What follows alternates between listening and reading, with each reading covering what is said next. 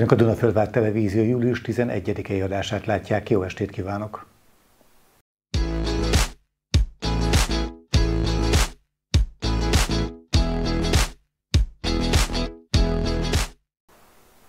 A ma esti Földvár mozaik témái a következők lesznek.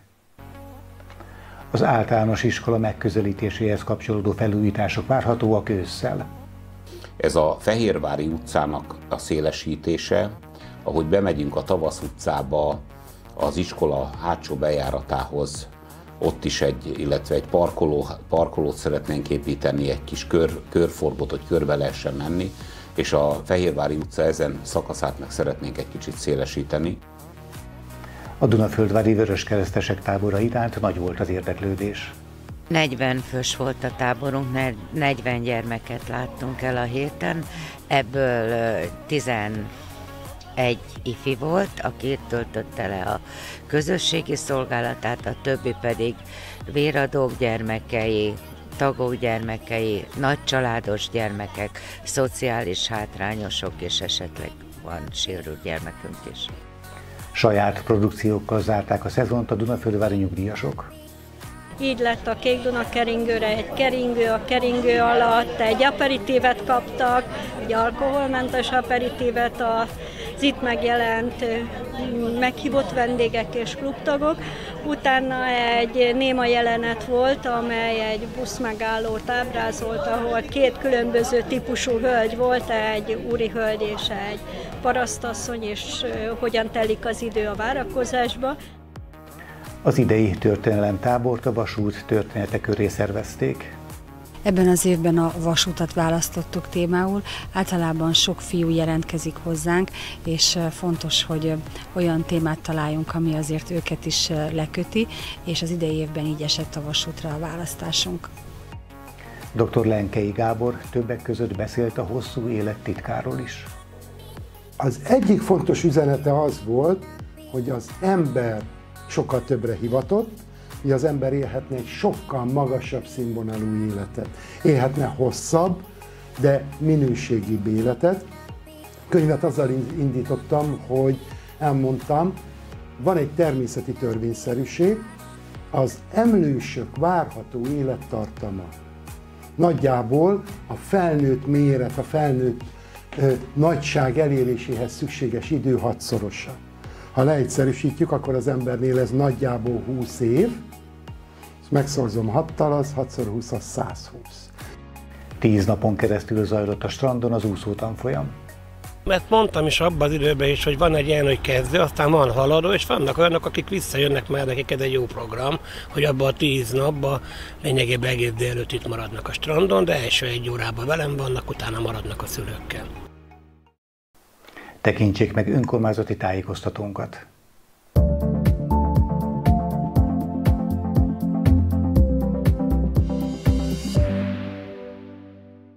Horváth Zsoltal, Dunafölvár polgármesterével heti tájékoztatónkat ejtjük meg.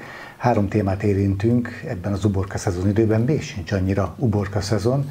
Először is van egy ilyen Fehérvári utca, illetve Tavasz utca közbeszerzés kiírás, mert hogy mi lesz ott? Üdvözlöm a nézőket, szerkesztő urat is.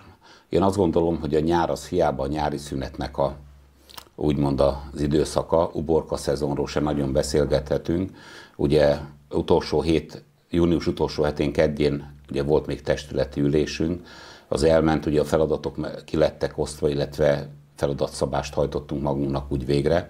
Ebbe az egyik legfontosabb, és ehhez rendelt is pénzösszegeket a képviselőtestület, ez a Fehérvári utcának a szélesítése, ahogy bemegyünk a Tavasz utcába az iskola hátsó bejáratához, ott is egy, illetve egy parkoló, parkolót szeretnénk építeni, egy kis kör, körforgót, hogy körbe lehessen menni, és a Fehérvári utca ezen szakaszát meg szeretnénk egy kicsit szélesíteni, és a patka rendezéseket elindítani. Erre írtuk ki most a közbeszerzést, elindítottuk, öt cég lesz erre meghívva, és nagyon szeretnénk gyorsítani ezt az egészet. Ugye a legelső tervünkben az volt, hogy mire megkezdődne a, az iskola, addigra ez készen legyen legalább ugye a hátsó bejárati rész, hogy a szülők már onnan tudják a gyerekeket beengedni, hisz nagyon nagy anomália nekünk az, hogy az iskolánál a Kossuth Lajos utcát az, az teljes mértékben, amikor reggel és délután a gyerekeket hozzák, viszik, akkor kaotikussá válik és balesetveszélyesél. Ezt szeretnénk ö, csökkenteni, illetve a hátsó részre szeretnénk terelni a, a forgalmat. Nyitva is van ugye állandóan ez a hátsó ö, rész, itt készülne egy útfelújítás, parkoló, kis körforgó, hogy körbe lehessen járni, illetve járda. A körforgó az a Hát nem Gábor Pál utcás vagy? Igen, igen, igen. Tehát, tehát úgy kell ezt a körforgót, hogy ne kelljen forgolódni az autókkal, hanem ahogy behozza a gyereket, kiszáll, akkor tovább lehet menni egyenesen, és be lehet e, csatlakozni az útba, tehát megkönnyítenénk a, a kibehajtását ennek az egész dolognak, és gyorsítani szeretnénk a, a bejövetelt és a, a kimenetelt, ugye, mert tudjuk azért sok gyereket hoznak ide. Ez lenne, ezt szeretnénk elindítani, hát már ez a ö, szeptember 1-ével, hogy ö, meg lesz csinálva és átadjuk, ez nem fog már működni, ezt látjuk előre, de nagyon rövid határidőt írunk ki a kivitelezőnek arra, hogy ezt megcsinálja. Szeretnénk minél előbb és minél gyorsabban megoldani, és nem zavarva ezzel a sem az iskolának a működését, mert az gazdasági bejáratként is működik, ugye, illetve majd szeretnénk utána a szülőket tájékoztatni arról, hogy legyenek szívesek ezt a hátsó bejáratot hajtani. Szokták tőlem még azt kérdezni, ugye, hogy a Flórián tér, ahol az önkéntes tűzoltó, illetve az egészségház mögötti rész, ott is ugye a parkoló használható lenne, de valami miatt azt, azt a szülők nem szeretik. Tehát nem tudom megérteni, vagy nem, nem tudom, hogy mi a, ennek a, az oka abban maradtunk az iskolavezetéssel, hogyha ez a hátsó rész elindul, azt is ki fogjuk minden reggel nyitni. Tehát, hogy akkor két oldalról, akkor három oldalról lehetne beengedni a, a gyerekeket. Ez is lehet, hogy csak szokás kérdése, szerkesztő úr, nem tudom, de megpróbáljuk gyorsítani és balesetmentessé tenni ezt a dolgot. Földváriként felmerül az a terület az kisjátítandó, vagy van annyi önkormányzati Nem, terület? minden, tehát minden önkormányzati terület, ezért vagyunk könnyű helyzetben. Terveket is megcsináltuk, engedélyeztettük a hatósággal, a Vármegyei Kormányhivatallal, úgyhogy rendben vagyunk itt. Ez nem fogja akadályozni a, a munkánkat, nem úgy, mint ugye a, a vízrendezésnél, ott ugye kisajátításokat kellett indulni, de ott is hál' Istennek sikerült a tulajdonosokkal meg, megegyezni, mert ha ez bírósági szakaszba megy egy ilyen kisajátítás, az megint, tehát a bíróságok, hogy ebbe dolgoznak, tehát megint hónapokra visszavetette volna, de ezt így saját területen megoldottuk. Egy mondatos válasz, hogyha ez minden akadály nélkül megvalósul, akkor mikor lesz kész? Hát szerintem október 30, de lehet, hogy csak november közepe. Augusztus 20-a messze van még, az előkészületek azonban itt vannak, akik egy kicsit is szervezett már bármit, egy ilyen nagyobb rendezvényt, azt tudja, hogy ilyenkor már javában folynak. Erről mit lehet tudni? Hát itt két dolog van, ami nagyon engedélyköteles. Az egyik ugye idén is tervezünk is lég, légi bemutatót, illetve utas repültetést, hogyha jó, lenne, jó lesz az időjárás. Ugye ehhez egy procedúra, ugye a légtér használati engedélyeket kell beszerezni, ugye ideglenes légtér használatot kell kérni a honvédségtől, illetve a légügyi hatóságtól, és ennek az átfutási ideje 30-40 nap, úgyhogy tehát már ezt itt neki kell látni, és meg kell kérni itt a, azokat a helyeket, illetve ugye koordináták alapján, meg hát a másik el is kell utalni érte a pénzt, tehát nem úgy van, hogy hiába légtérhasználat, ezt mindenkinek azért szeretném figyelmébe ajánlani, hogy ezért fizetni kell az önkormányzatnak. Nem egy őrült nagy összeget jelent ez, de akkor is, tehát nem úgy van csak, hogy szabadon itt össze-vissza repülgetünk, hanem ezt be kell jelenteni előre, meg kell kérni ezt az ideglenes légtérhasználatot. Nem lesz akadálya, tehát már beszéltünk a légtér hasznosítókkal, úgyhogy nincs vele, de a papírmunkákat meg kell tenni. A többi része azok ugye a másik, ami hosszú idő, ez nem más, mint az EON-tól áramot kérni, lecsatlakozni. Ez is úton van már. Megváltoztak itt is a jogszabályok ebbe a dologba. Sokkal nehezebb ma ideglenes órákat leköttetni, mint régebben volt. Ez abból adódik, hogy kitől vásárolja meg az ember az elektromos áramot, hisz ugye ma már szabad beszerzés, és kell egy olyan befogadó nyilatkozatot nekünk szerezni, hogy valamelyik elektromos áram kereskedő cégtől ezt a szükséges mennyiséget meg fogjuk vásárolni.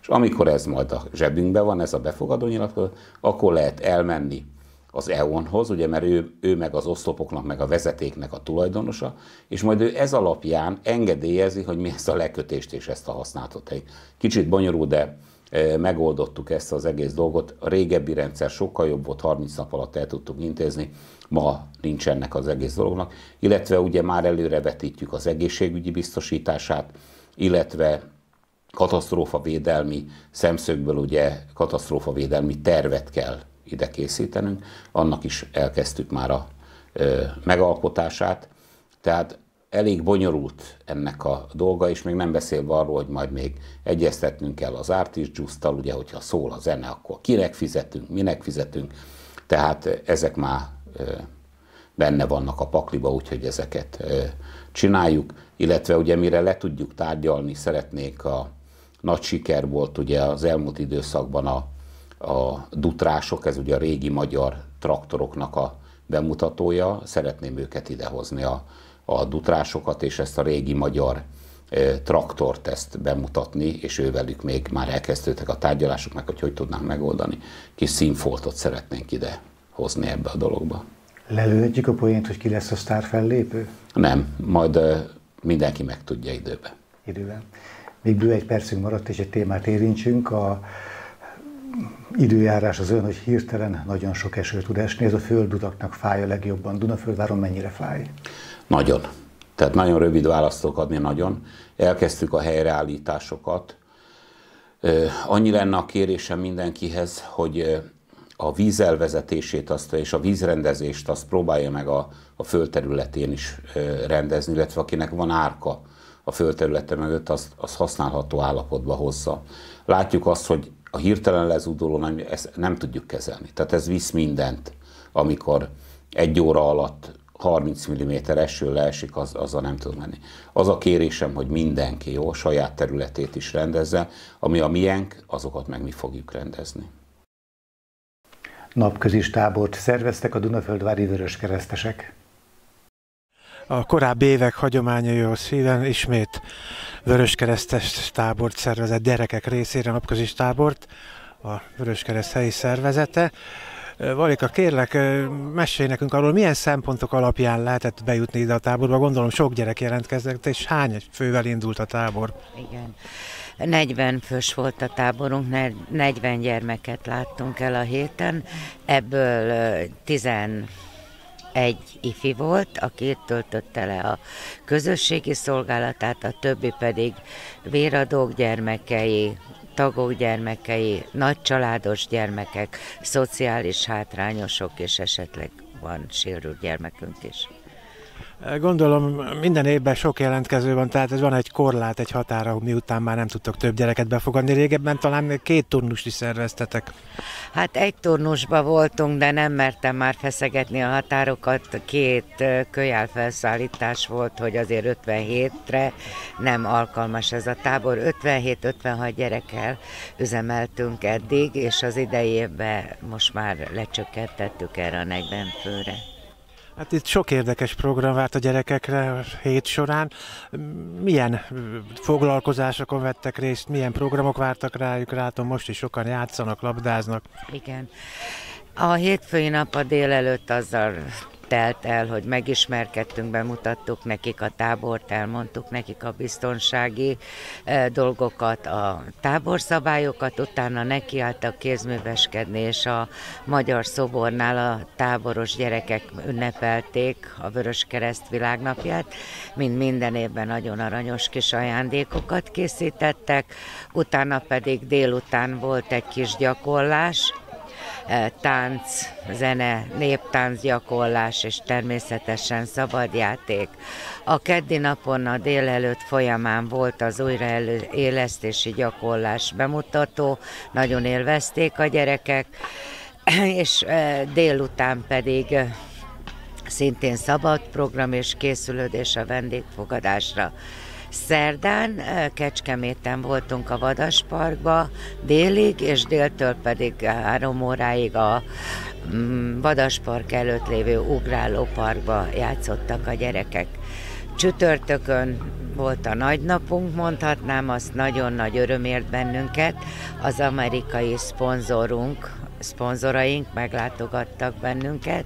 Itt voltak hatan, a gyerekeknek nagyon nagy sikere volt, volt közös tánc, közös éneklés, a gyerekek is énekeltek, ők is énekeltek a gyerekeknek, itt ebédeltek, egy kicsit barátkoztak a gyerekekkel, kötöttünk úgy báni, szóbani egyességet a további együttműködésre. Remélem, hogy valóban ez a új kapcsolat, szponzori kapcsolat nem csak egy irányú lesz, hogy ők segítenek, hanem majd mi is tudunk az ő táboraikba, amit Magyarországon üzemeltetnek az ifjénkkel elmenni segíteni. Ez volt csütörtökön, a mai nap folyamán a délelőtt, mint látjátok, már a kincskeresésre készülnek a nagyok. Különböző tárgyakat elrejtenek, amiért kincset kapnak a gyerekek. A, aki itt maradt, az pedig szabad programba játszik, egy sportjátékok azok mennek most nagyon. Délután pedig a vizes nap lesz, a Poseidon Egyesület jön, vizes vetélkedőt fognak tartani a gyerekeknek, és ezzel zárjuk a tábort. A nyári táboroknál szokás az, hogy szülők, helyi vállalkozók gyümölcsöt, édeséget hoznak a táborlakóknak. Nálatok is megtörtént ez? Igen, nagyon nagyon-nagyon nagy köszönet érte. Farkas Laci ugye hozta a dinyét, amit most már három napja esznek a gyerekek, mert olyan sokat sikerült hoznia. A pékpont pedig egész hétre ellátott bennünket úgy, hogy még a szomszéd táboros gyerekeket is meg tudtam belőle vendégelni. Ezúton is nagyon szépen köszönöm a szponzorálásukat, nagyon nagy sikere van a termékeknek amit kaptak, vittek haza a gyerekek kóstolót, és amikor maradt délután, úgyhogy nagyon szeretik a termékeiket, és szeretném megköszönni a Pékpontnak is, Farkas Lacinak is, Fekete László pedig mm, készpénzt adott, 10 ezer forintot adott, szintén gyümölcsvásárlásra. Volt olyan szülő, aki küldött le gyümölcsöt, egy kis süteményt, de hát mindenki, aki, aki úgy érezte, hogy egy kis rákcsával vagy valamivel hozzá tud járulni, szülő az is hozzájárult, és természetesen az SMK hozzájárulás is megtörtént. Említetted, hogy ismerkedtek a gyerekek az első nap. Vannak olyanok, akik is ismerkedtek meg. Ugye valamennyien földvárják, de eddig nem ismerték egymást, vagy csak látásból. Hát igen, van elég sok gyerek, aki már több éve itt van nálunk, tehát velük nem volt probléma, de mondhatnám azt, hogy ugye a 40-50 százaléka, ugye a fele, akik újak, tehát cserélődnek. Kinőtték ezt a tábort már, vagy éppen nyelvtábor van, vagy tehát ütközött a másik fejlesztő táborokkal az időpont. Szezonzáró rendezvényt tartott a Dunaföldvári Nyugdíjas Klub. Csodálatos festői környezetben, nagyon szép időben beszélgetünk Német Lajosnével, az őszi Alkon Nyugdíjas Klub elnökével, vezetőjével. Évike, ez a rendezvény mit célt szolgál? Minden évben nyár előtt az utolsó foglalkozásunkkor egy közös ebéddel búcsúzunk el a fél évtől, a nyári időszakban nem tudunk összejönni, nagyon-nagyon meleg van, délutánonként vannak foglalkozások, és a 30-40 fokos melegben nem lehet őket kimozdítani. Mi volt a napi program? Látom itt már az ebédhez készülöttök. Mikor gyülekeztetek, illetve hogy telt a délelőtt? Hát a délelőtt az 9 órától kaptuk meg a hajót, belaktuk nagyon hamar. Nagyon szépen köszönjük Süveges úrnak és az Egyesületnek, hogy eh, engedélyezte, hogy mi itt eltöltsünk eh, egy napot ezen a csodálatos környezetben. Egy humoros kis műsorral köszöntöttük egymást, hiszen a klubtagok készültek föl. Az ebédet azt a Nagy Gábor készíti évek óta már nekünk, nagyon finom pörkölt lesz, és a délutánban pedig beszélgetés, zenehallgatás, és hosszú Sanyi fog nekünk egedülni. Ez a kis műsor hogy állt össze? Rá kellett beszélni valakit, vagy jöttek az ötletek egyénileg, hogy én ezt tenném, azt tenném? Az az igazság, hogy az internet adta lehetőségek alapján egy-egy gondolatsort megbeszéltem egy-két klubtaggal, és pillanatok alatt ráhangolódtak. Így lett a Kék Duna keringőre egy keringő, a keringő alatt egy aperitívet kaptak, egy alkoholmentes aperitívet az az itt megjelent meghívott vendégek és klubtagok. Utána egy néma jelenet volt, amely egy buszmegállót ábrázolt, ahol két különböző típusú hölgy volt, egy úri hölgy és egy parasztasszony, és hogyan telik az idő a várakozásba. Aztán egy bosszú nevezetű kis paródia volt, amelyben egy házaspár megcsalja a feleségét, és hát a másik fél eljön panaszra, és többszörösen megbosszulják ezt a tényt. Tehát a mindennapi életből vett példák kerültek humorosan itt előadásra. Igen, és csak vidám dolgok, hiszen környezetünkben mindig olyan szomorú dolgokat látunk, hogy az itt eltöltött idő alatt, ez alatt a pár óra alatt csak, csak vidámságot lehet hozni nekik. Akkor megragadjuk az alkalmat, hogy néhány szóba vázolt, hogy a fél év hogy, tehát milyen programjaitok voltak tavasszal, Hát a fél év az a január úgy kezdődött, hogy a városban működő strand bezárt, ezért a gyógytornásznak, a Katikának felszabadult ideje volt, és megkértük, hogy jöjjön hozzánk minden héten a foglalkozásainkra, és egy fél órás gyógytornát tartott. Ez nagyon jól megmozgatta az izületeinket. Nagyon örülünk, hogy a stand megnyitott, viszont annak nagyon nem örülünk, hogy a Katikának már nincs ideje ilyenfajta tevékenységre a mi köreinkbe.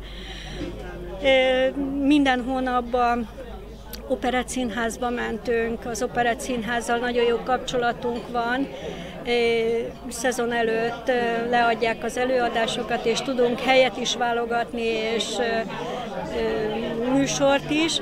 Aztán, ahogy feljött a jobb idő, messzebbi kirándulásokra mentünk, Dégre, Ozorára mentünk, Pápára mentünk, Herendre mentünk, kastélylátogatást. Az új projekt, az országos projekt be a kastélyainkat felújítják, és fantasztikus élményt nyújtanak nekünk ezek a látogatások.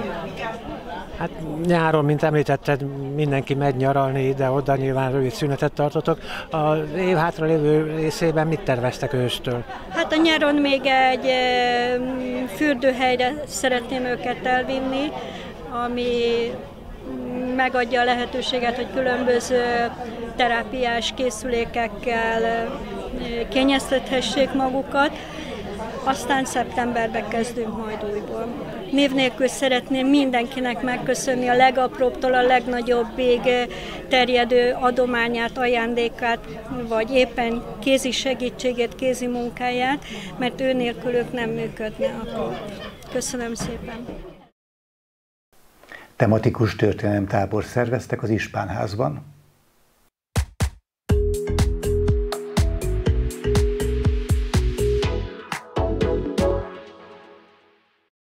Több éves nyári program már itt a Várudvaron, a történelmi Erzsébet tábor, melyet a Művelődési Ház szervez. Fafkán és Simon Ildikov a tábor vezetőivel beszélgetünk. Ha jól tudom, más-más tematikát, témakört választotok minden esztenődben. Idén mi a témakör, mivel foglalkoznak itt a gyerekek? Ebben az évben a vasutat választottuk témául. Általában sok fiú jelentkezik hozzánk, és fontos, hogy olyan témát találjunk, ami azért őket is leköti, és az idei évben így esett a vasútra a választásunk. Hát a vasút történet nem nagyon régi múltra tekint vissza tulajdonképpen a 19. századtól. Dunaföldvár esetében megemlíthető a híd, ahol még valaha vasút is áthalladt. Volt erről is szó?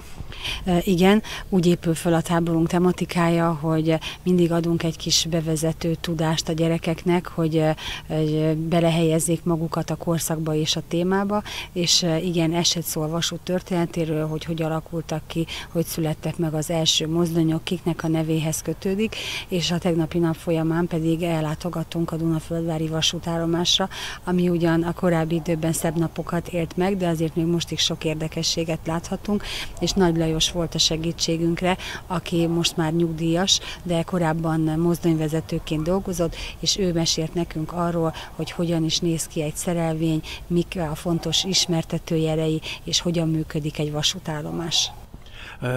Régebben valóban minden kisfiú vasutas szeretett volna lenni mozdonyvezető. Mostanára is megvan valamilyen szinten ennek a foglalkozásnak a varázsa? Én úgy látom, hogy jól érzik magukat a gyerekek, és tetszik nekik ez a téma. Ugye kézműveskedés is mindig hozzátartozik a táborhoz. Szabó Ági találja ki a kézműves foglalkozásoknak a tematikáját, és most készítettünk vasúti tárcsát, forgalmista sapkát, papírból, mozdonyt, vagont, a további napoknak a témája, feladata lesz a vasútállomás elkészítése és berendezése, és én azt látom, hogy, hogy lelkesedéssel készítik a gyerekek, a fiúk is aktívan közreműködnek ebben, tehát én úgy látom, hogy leküti őket ez a téma. Hát egy történésztábor esetében nyilván fontos azt érzékeltetni, hogy száz évvel ezelőtt milyen nagy jelentősége volt a vasúti közlekedésnek, akár a személy, akár a közútilag, illetve napjainkban ez már hogyan módosult, hogyan alakult. Tehát lehet ezt érzékeltetni, a gyerekek mennyire tudják felfogni, hogy száz évvel ezelőtt a vasút maga csoda volt? Hát igyekeztem elmesélni nekik, hogy most nyilván attól is függ, hogy egy elsős gyerek fejébe megy az információ, vagy egy hetedikes gyerek fejébe. Azt láttuk, hogy nyilván a, a nagyobbak jobban megértették, ezt, de e, ugye ez egy nyári tábor, tehát nem a tudományt csöpögtetjük öt napon keresztül, hanem élményt igyekszünk adni, és amellett, hogy természetesen a témával foglalkozunk, megyünk a strandra, és játszunk is, illetve egy nap pedig kirándulunk, és most az idén adta magát a téma, hogy a vasútörténeti parkot látogassuk meg Budapesten, és mindezt nem külön busszal tesszük, hanem vasúttal és tömegközlekedéssel fogunk oda utazni. Ez még a pénteki nap kihívása lesz számunkra is. Bízom benne, hogy minden zöggenőmentesen fog zajlani. Érdekes lesz a gyerekek számára, én és részben te is korunk miatt tudjuk azt, hogy milyen nehéz innen Dunaföldváron vasúttal eljutni Budapestre, de nagy élmény lehet a gyerekek számára. Felkészítettétek őket, hogy nagyon nagy út lesz?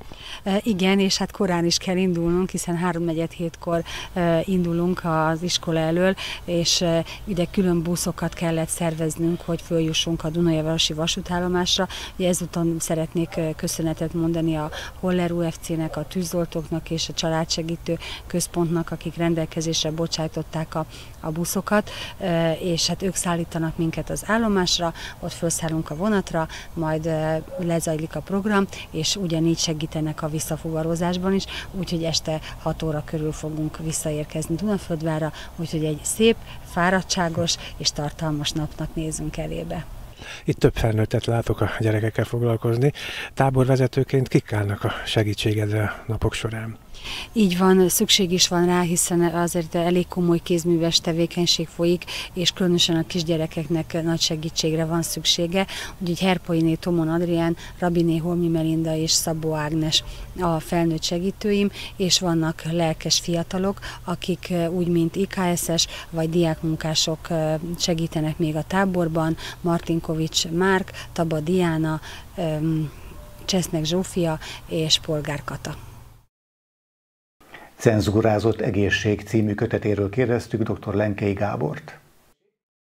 Dr. Lenkei Gáborral beszélgetünk, aki közel 20 évvel ezelőtt megírta a Cenzúrázott egészség című könyvét. Miről szólt ez?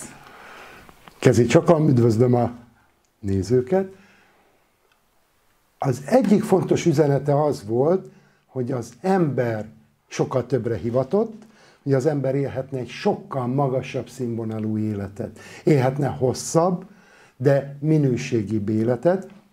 Könyvet azzal indítottam, hogy elmondtam, van egy természeti törvényszerűség, az emlősök várható élettartama nagyjából a felnőtt méret, a felnőtt ö, nagyság eléréséhez szükséges idő hatszorosa. Ha leegyszerűsítjük, akkor az embernél ez nagyjából 20 év, ezt megszorzom 6-tal, az 6 20 az 120. Tehát valójában lehetőségünk lenne ilyen hosszú ideig élni, de ami nagyon fontos, magas minőségben, teljes értékű életet, vidáman, energikusan, lendületesen, úgyhogy még egy száz fölötti ember felugrik a lóra, lovagol, úgyhogy még van értelme a szerelemnek, száz év fölött is. Tehát erről szól a könyv, és szól arról, hogy hogyan váltunk egyre gyámoltalanabbá az idők során, és hogyan távolodtunk el az eredendő képességeinktől, de szól a könyv arról is, hogy még Száz évvel ezelőtt voltak olyan népcsoportok, ahova még nem tört be a civilizációnak a pusztító ártalma, és akik ennek megfelelően éltek. Tehát ez nem csak egy elmélet, hanem az ember élhet így.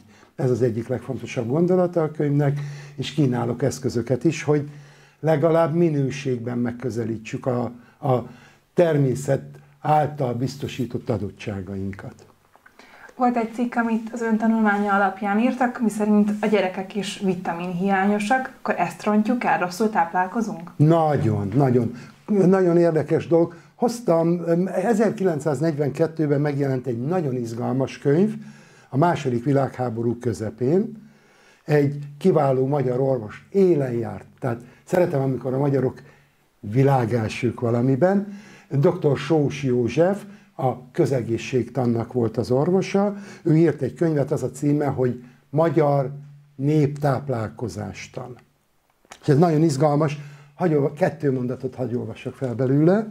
Azt mondja a Sós doktor, a táplálkozási hiánybetegségek tanulmányozása terelte rá a figyelmet a táplálkozás minőségi igényeire.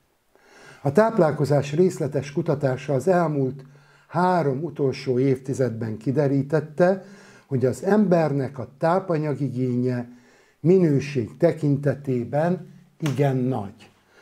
És 1942-ben már népegészségügyi programra lett volna szükség ahhoz, hogy kezeljük ezt az úgynevezett hiányállapotot, mert a növények, a gyümölcsök, a zöldségek már akkor sem biztosítottak eleget, és azóta eltelt több mint 80 év.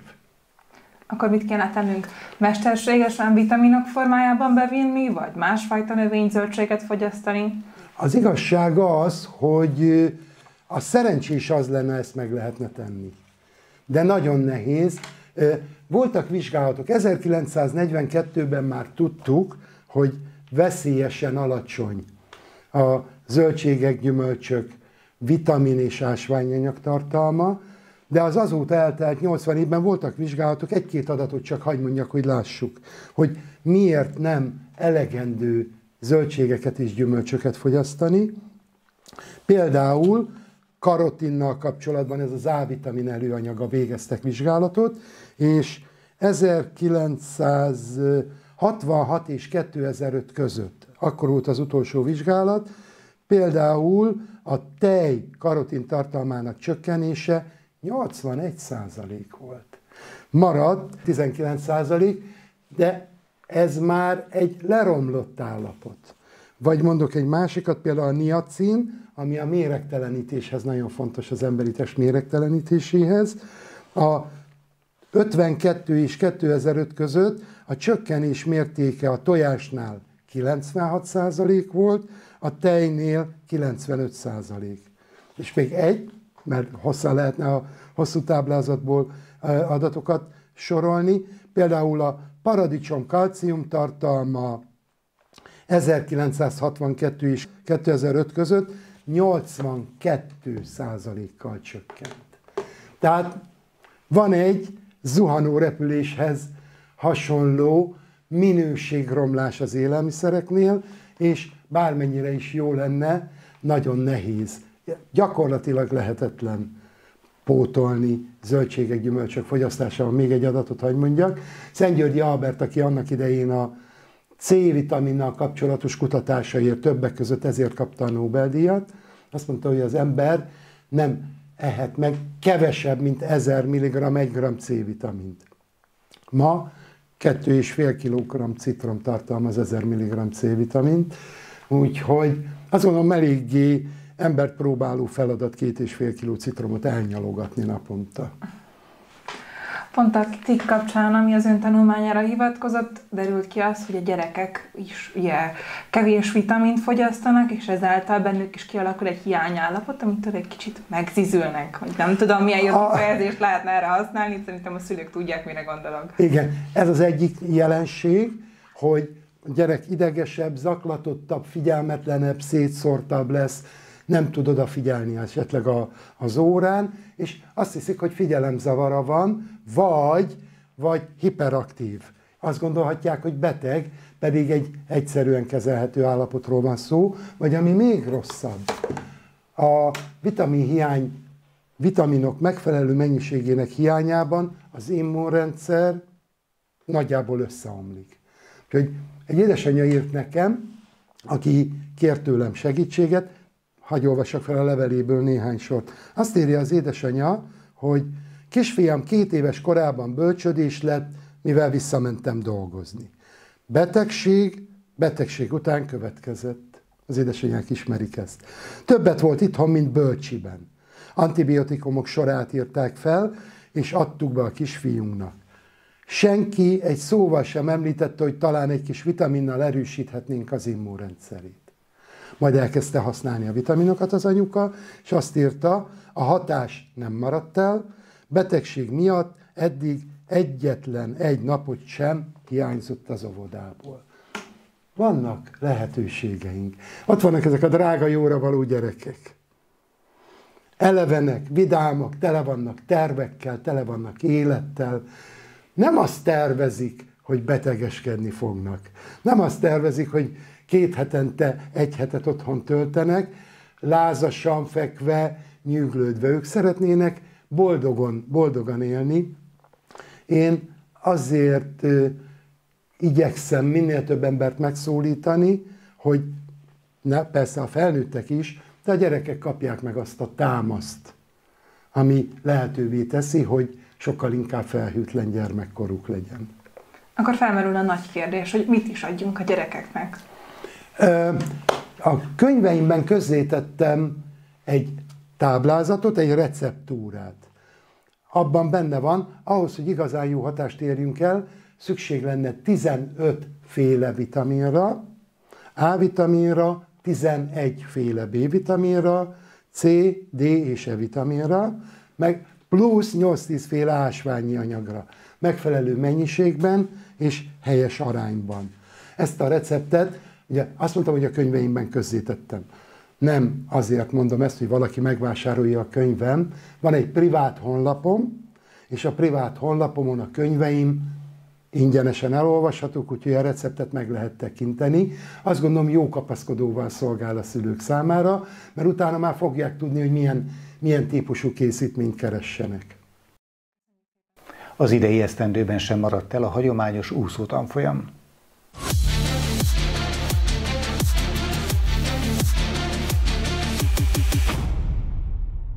Véget ért a hagyományos nyári első úszótanfolyam itt a strandon. Rostási Nándor testnevelő tanár ki tudja, hanyadik éve csinálja már, ezt nem is számoljuk, egy ideig számoltuk még. Hát első kérdés, egy klasszikus, hagyományos nyári úszótanfolyam, milyen volt az idő?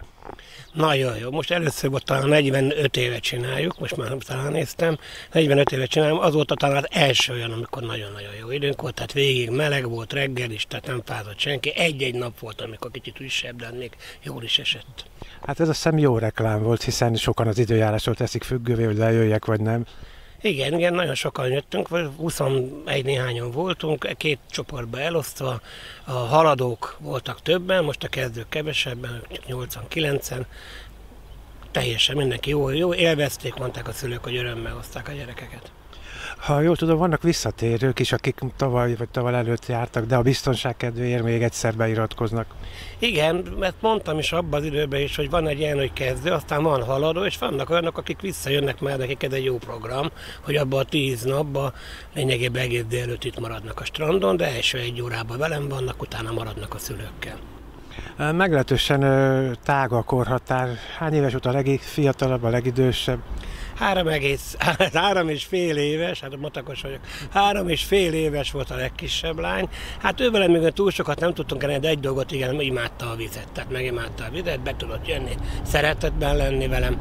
A legidősebbek azon 16-18 év körül voltak. A bemutatóval zárul egy, egy ilyen tanfolyam, ahol a szülők is részt vesznek. Mi a célja ennek? Gondolom azt, hogy reprezentálják a gyerekek, hogy azért megtanultunk úszni. Milyen feladatokat hajtottak végre itt a bemutatón a fiatalok? Hát két célja van, egyik az, amit mondtál, hogy a szülők is meg akarják nézni, hogy mit csináltunk itt a tíz nap alatt, hova jutottunk el. A másik része nagyon sok gyereknek ilyenkor jön ki azt, hogy az utolsó félelmet is leküzdő, megmutassa, hogy be tud ugorni abba a mélyvízbe, és ezt meg tudja csinálni. Ez ugye előhozza belőle még az utolsó tartalékokat, és ez nagyon jól sikerül. Itt a fő része az, hogy megmutatjuk, hogy mind a három nemnek tudják az úszásának a technikáját, ez a kismedencébe történik. Búvárkodnak, tehát lemennek, hoznak tárgyakat, víz alatt dolgoznak, és utána pedig átmegyünk a nagymedencébe, és a nagymedencébe hosszába, mély vízbe ugorva hosszába kell átúszniuk több nembe a, a medencét. Ez lenne a vége, ez, ide akarunk eljutni, amikor indulunk. Hát a kezdőknél, különösen a kicsiknél hiszem, hát évek óta csinálok volt az egyik legnagyobb feladat az, hogy becsalogasd a vízbe őket, akik félnek. Erre vannak már praktikáit, hiszen évtizedek óta csinálod. Hogy sikerül rávenni a kicsiket, a félőseket, hogy gyertek be a vízbe, talán bukja a víz alá? Hát a legnagyobb érve ebben mindig az, hogy ott vannak a haverok és akkor, ha ő már benn van, akkor egy-két napon belül is be akar jönni, mert velük akar lenni. Ha nincs haver, akkor oda jön hozzám, velem el van, és akkor egy, egy, egy nem szabad erőszakosnak lenni, hagyni kell, hogy ő magától élvezze azt a vizet. Mindenki, tehát ebben a csoportban is volt két olyan eh, tanulónk, aki nem akart bejönni, és a végén alig tudtuk kiszedni a vízből. Ez egy óriási dolog már szülő szemszögéből is, mert most már tudja vinni vízpartra a gyereket. Hát az motivációs tényező, a barátom, barátnőm jön, ha ő jön, akkor én is megyek, ha nő nem, akkor én sem. Igen, ez egy motiváció. Nagyon sok csoportok jönnek le, egy hárman, négyen vannak együtt, akik az óvodában együtt voltunk, vagy az álcsoliban együtt vagyunk, és akkor együtt lejönnek, és akkor egymást inspirálják arra, hogy minél jobban működjön. Említetted azt, hogy különféle úszásnemeket tanultatok. Van valamiféle sorrend, mivel kezdik? És mi a legnehezebb, melyik a legnehezebb úszásnem? Először én mindig úgy kezdjük, hogy gyors, mert az az egy olyan mozgás, amelyik, amelyiket nagyon könnyű megtanulni. Aztán csináljuk a mellúszást, csak a mellúszásnak a lényeg az, hogy szimmetrikusnak kell lenni, és azt nagyon nehéz megtanítani. A legegyszerűbb úszás lenne, mert lényegében a mozgás szemszögéből ez a legősibb mozgás az embernek, a béka mozgás, ugye a csecsemőknél, de na, ha nem szimmetrikus, akkor egy idő után nagyon nagy bajok vannak belőle, tehát próbáljuk ezt tökéletessé hozni, és utána van a hátúszás, ami lényeg annyi, hogy átfordulunk a hátunkra.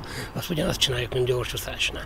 Az a lényeg a dologban, hogy sose szabad egyiket se előre tolni, amelyiket választja a gyerek. Tehát, hogyha ő azt mondja, hogy a mellen, akkor mellen. Ha gyors, akkor gyorsan, ő döntse el.